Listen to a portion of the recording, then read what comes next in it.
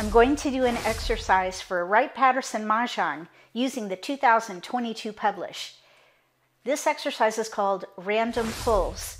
The purpose is to practice identifying the strength in a dealt hand.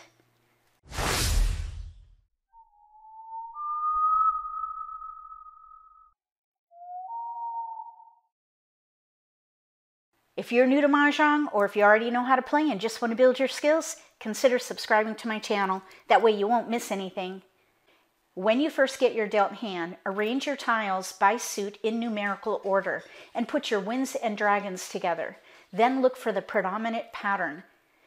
Identify a category in the booklet that will use most of your tiles. A good guideline is seven tiles. If you have seven tiles towards any particular category or hand, go for it.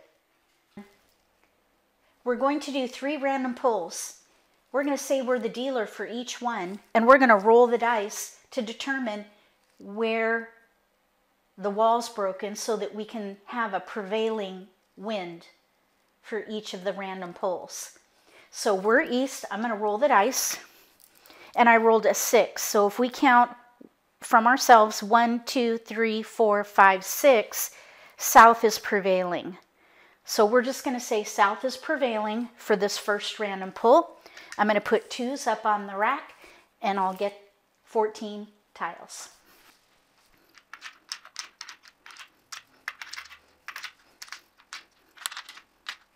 We have a white dragon. News.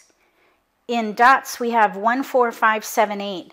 And in cracks we have a pair of twos, a three crack, and an eight crack. If these were your tiles, what would you focus on and what would be your first pass?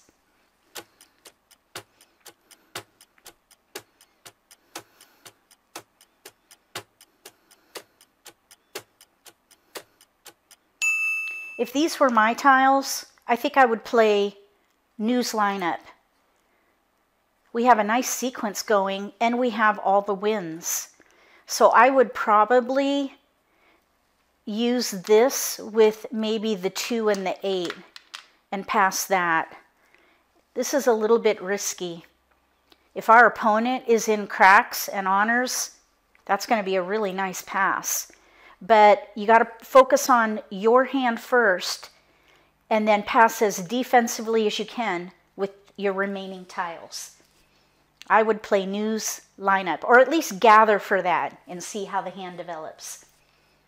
If you would do something differently with these tiles, write it in the comment section below with pull one. Let's roll the dice again to see if we have a different prevailing wind. I rolled a seven. One, two, three, four, five, six, seven would be west. And we're assuming that they're going to roll a number that's going to keep them at their wall. If you want to know more about breaking the wall, look for the lesson playlist with the fundamentals. Let's see what we can do with these tiles.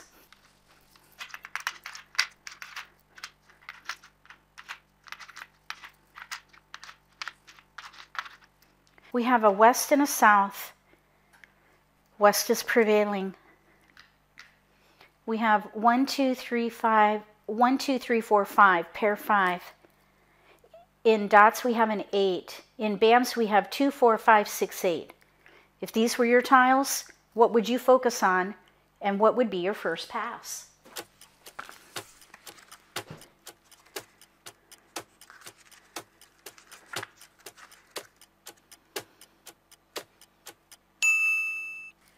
If these were my tiles, I think I would play a mixed suit hand, maybe Scotch Hopper, one, three, five in one suit, two, four, six, eight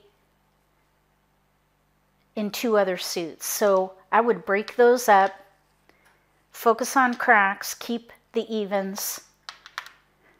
Now I would not pass those, and I probably would not pass two fives together either. We have two four here. Maybe we could do either big 2468 or little 2468. These are both mixed suit hands.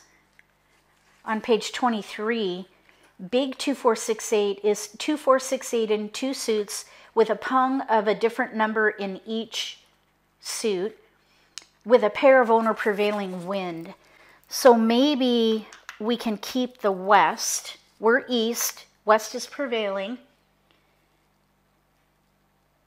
The other thing we could do is maybe little 2468, two or three suits. So that's why we can maybe keep that too. 2468 pungs with a pair of either twos or eights. So then maybe we could pass those three right there and play 2468. Now one thing we could maybe do, this is a little painful because I would think too, we have winds with cracks. We have a pair in there, we could play dazzle, five pairs in one suit with news, and then pass defensively here. Maybe that would be better. One suit and honors is a really great, flexible pattern because you can play all throughout the book. You could play pairs, sequences, you could play a gate hand, you could even play maybe a jewel hand or even Chinese tea hands if you get dragons and the right winds for Chinese tea hands. So I think I would focus on one suit and honors. We even have a run here, one through five. So I think I would discard those. Lots of options. What, would you do with these tiles? Write it in the comment section below with pull two. I rolled a 12, multiples of 4, 1, 2, 3, 4, 8, 12, and that's north. So north, north is multiples of 4, so north is prevailing this time.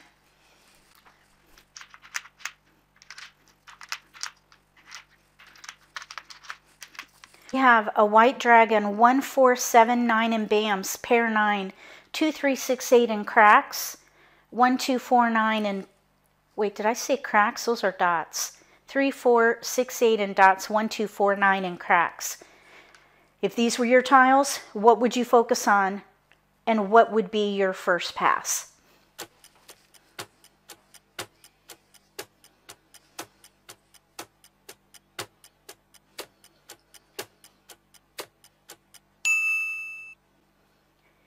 If these were my tiles, I would play Scotch Hopper.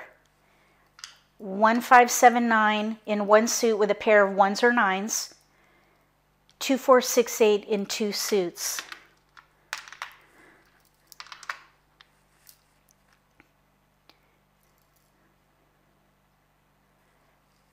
You know, what we could do is even keep these cracks because we might even be, be able to play Heavenly Hopscotch instead. 13579 in two suits, 2468 in a third. So we could let those go for the first pass. 13579 in two suits, 2468 in a third. No pairs. So we wouldn't be able to use that. But we have a 1 and a 9. If you would do something differently with these tiles, write pull 3 and what you would do. If you like this video, give me a thumbs up. If you haven't subscribed to my channel, consider subscribing. Click that little gray bell if you do. That way you'll get notification for when I post new videos and you won't miss an opportunity to learn a new strategy or pick up an insight to the game that could give you an advantage at the table. Between now and the next video, may all your picks be keepers.